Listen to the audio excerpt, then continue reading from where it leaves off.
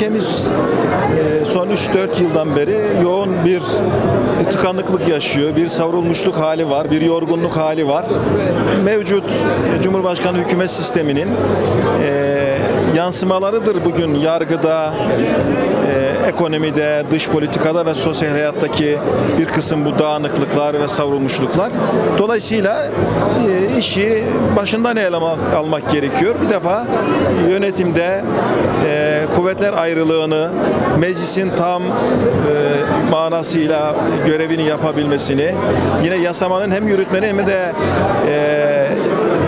şeyin yargının hem yasamanın hem de yürütmenin güdümünden sıyrılarak e, tam ve bağımsız bir şekilde işlevsel hale gelmesini yani tam hukuk halinin e, uygulanır hale gelmesini temin etmek adına bir adım güçlendirilmiş parlamenter sistem şüphesiz e, devamında atılacak her e, alanda e, kuvvetli ve güçlü adımlara ihtiyaç vardır.